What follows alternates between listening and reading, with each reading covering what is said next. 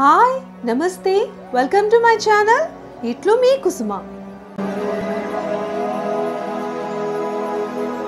కార్తీక మాసంలో చాలా మంది ఉల్లి వెల్లుల్లి వాడకుండా వంటలు చేస్తారు.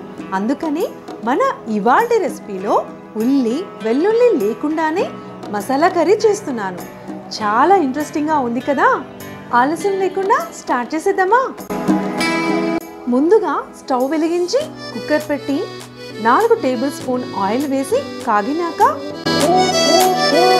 పావు టీ స్పూన్ జీలకర్ర వేశాక ముప్పావు కప్ క్యారెట్ ఒక కప్ బీన్స్. ఇక్కడ బీన్స్ ఫ్రెంచ్ కట్ చేశాను. బ్యూటిఫుల్గా ఉంది కదా?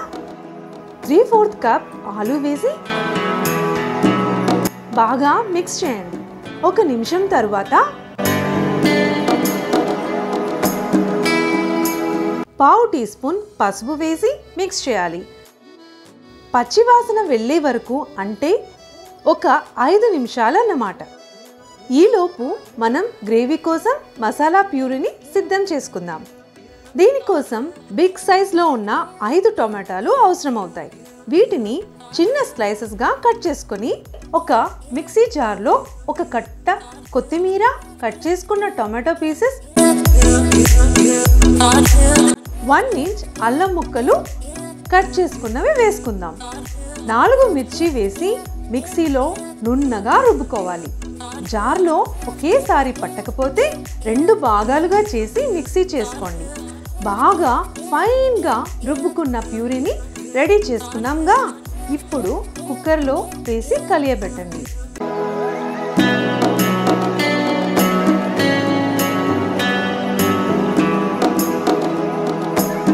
నిమిషం తర్వాత అర టీ స్పూన్ జీరా పౌడర్.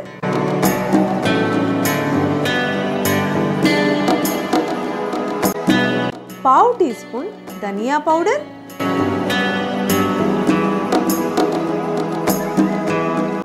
ఒక టీ స్పూన్ సాల్ట్ వేయాలి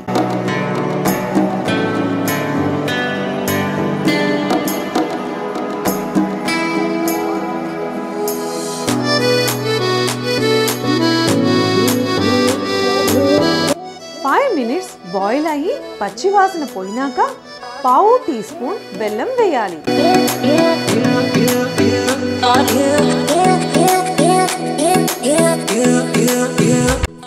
ఇప్పుడు రెండు వందల ఎంఎల్ వాటర్ అంటే ముప్పావు గ్లాస్ వాటర్ అన్నమాట.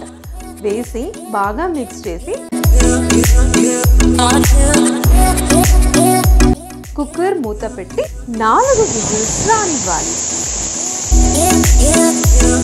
కుక్కర్ బాగా చల్లారాక డైరెక్ట్గా బౌల్లోకి కర్రీ తీసేసుకోవడమే.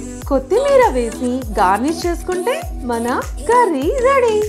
ఈ ఉల్లి వెల్లుల్లి యూజ్ చేయకుండానే చేసిన మసాలా కర్రీ చపాతీ రోటీ పూరి రైస్ ఇలా దేనికైనా ఇట్టే మ్యాచ్ అయిపోతుంది.